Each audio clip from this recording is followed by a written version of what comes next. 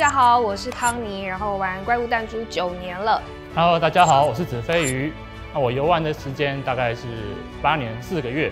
大家好，我是 Log。那我游戏的时间已有两千两百多天。大家好，我是明学。我弹珠的资历玩了八年半左右。大家好，我是骆驼。那我玩怪物弹珠已经八年多。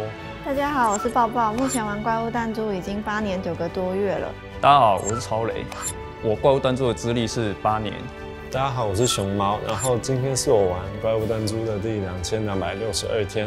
在 MSTW Strikers 里面呢，是担任主持、场控，然后呢还有节目上效果的担当。我曾经在二零一九年的竞速赛担任过赛评，那今年的 MSTW 甄选赛也担任这个赛评的工作。自认为我在于关卡攻略上，对于场上的局势分析。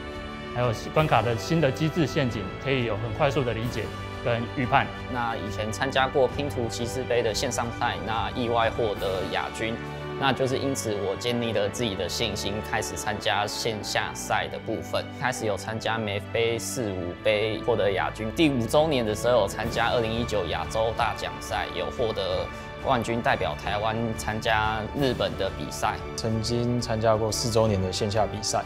然后那次刚刚好是冠军，然后在二零一九年参加过台北电玩展的比赛，然后那一次也是冠军。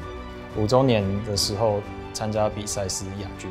那我其实有经营社团，会带新人去挑战一些困难的关卡，帮他们获得一些比较难获得的角色，就是我们想要让更多新人来玩。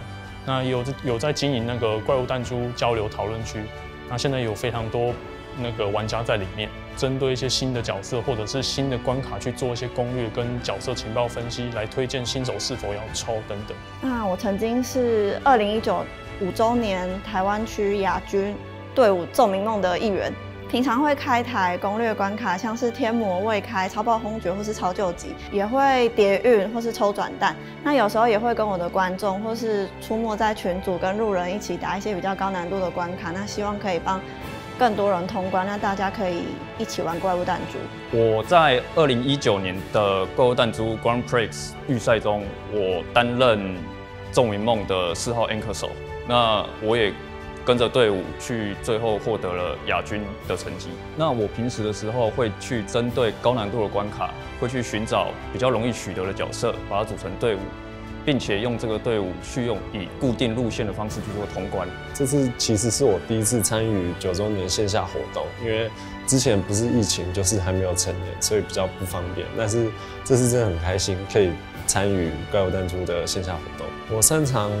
搭配各种不同的角色以及他们的果实，然后还有多颗星卡点，以及预测弹珠飞出去的时候撞到板块或者怪物的时候弹飞的位置。在接下来的一年里面呢，希望带给各位观众就是更加有效果，然后呢也包含了更加就是有技术层面在里面的节目。耶！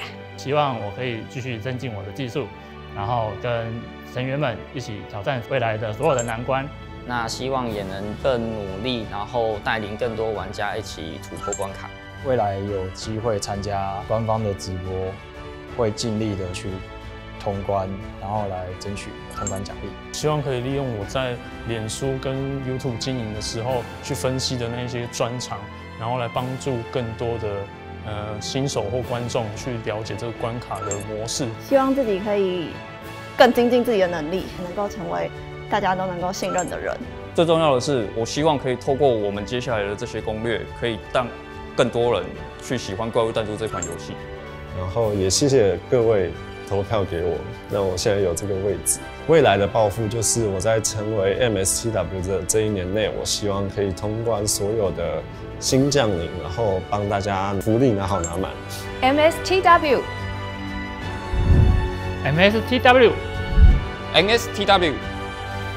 NSTW MSTW MSTW NSTW MSTW